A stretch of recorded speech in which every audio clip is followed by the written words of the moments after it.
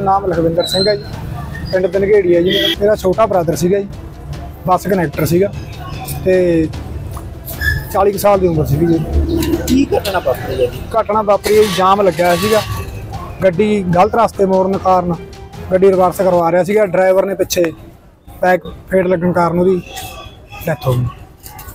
ਕੀ ਉਹ ਵਿਆਹ ਹੋਇਆ ਸੀ? ਹਾਂਜੀ ਮੈਰਿਜ ਕਿੰਨਾ ਚਿਰ ਹੋਇਆ ਵਿਆਹ ਨੂੰ? ਤਿੰਨ ਕੁ ਸਾਲ ਹੋਏ।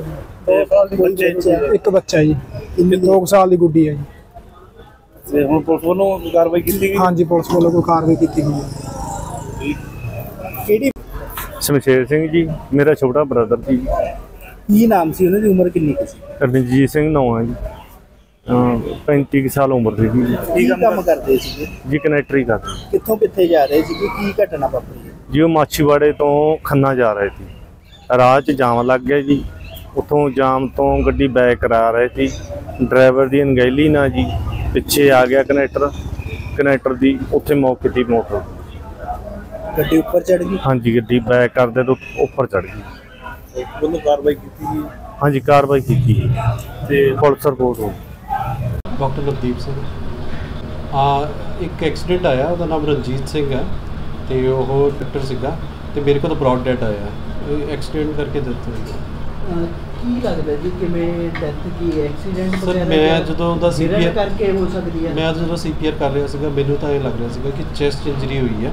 ਬਾਕੀ ਪੋਸਟਮਾਰਟਮ ਤੋਂ ਇਨਫੋਰਮੇਸ਼ਨ ਕੰਫਰਮਡ ਹੋਏਗੀ ਕਿ ਕਾਜ਼ ਆਫ ਡੈਥ ਕੀ ਹੈਗਾ ਕਿੰਨੇ ਕੁ ਵਜੇ ਦੀ ਘਟਨਾ ਹੈਗੀ ਜੀ? ਸਰ ਇਹ ਕੁਝ ਤਕਰੀਬਨ 11 11:30 ਵਜੇ ਕਿੰਨੀ ਕੀ ਏਜ ਦਾ ਸੀ ਪੇਸ਼ੈਂਟ 40 ਇਅਰਸ ਇਹਦਾ ਨਾਮ ਰਣਜੀਤ ਸਿੰਘ ਹੈ 40 ਸਾਲ ਦੀ ਉਮਰ ਹੈ। ਫਤਿਹਗੜ੍ਹ ਸਾਹਿਬ ਪਿੰਡ ਦੇ ਮਤਲਬ ਫਤਿਹਗੜ੍ਹ ਸਾਹਿਬ ਦੇ। ਜਿਸ ਦਾ driver Ranjit Singh bus number PV 10 D K 3571 ਦੇ ਨਾਲ ਸਾਨੂੰ ਹਰਪ੍ਰੀਤ ਸਿੰਘ ਸੋਨੀ ਜੀ।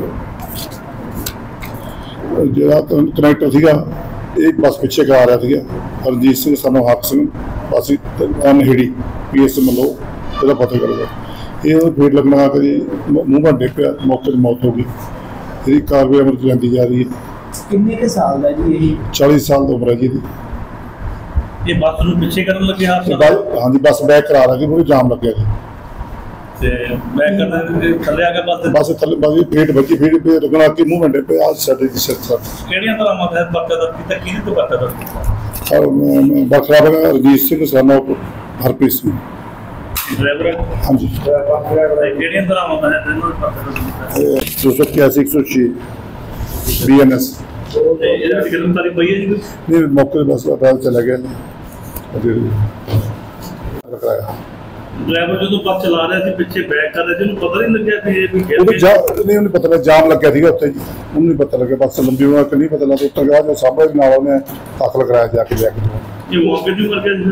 ਨਹੀਂ ਇਹ ਜਾ ਕੇ ਮੁਕਤ ਦੇ ਮੇਰੇ ਡਾਕਟਰ ਸਾਹਿਬ ਨੇ ਆ ਕੇ ਦੇ ਦਿੱਤੇ ਡੈਥ ਕਰਾ ਦਿੱਤੀ ਮੈਟਰੇਟ ਦੇ ਲੱਗ ਗਿਆ। ਜਿਹੜੀ ਹੁਣ ਡੈਡ ਬੋਡੀ ਦਾ ਪੋਸਟਮਾਰਟਮ ਉਸ ਬਣਾ ਕੰਮ ਉਸ ਪ੍ਰੋਗਰਾਮ ਨੂੰ ਹੁਣ ਟਾਈਮ ਦਾ ਸੇਵਾ ਕੀਤੀ ਹਾਂ ਬਸ ਕਬਜ਼ੇ ਦਸ ਕਰ ਦਿੱਤਾ ਅੱਜ ਬਸ ਚੱਲਿਆ ਤਾਂ ਕਬਜ਼ੇ ਅੱਜ ਨਹੀਂ ਡਰਾਈਵਰ ਆਪ ਉਹਦੇ ਹਸਪੀਟਲ ਲੈ ਕੇ ਗਏ? ਡਰਾਈਵਰ ਵਾਸਤੇ ਦੇ ਦੋ ਲੈ ਕੇ ਗਏ।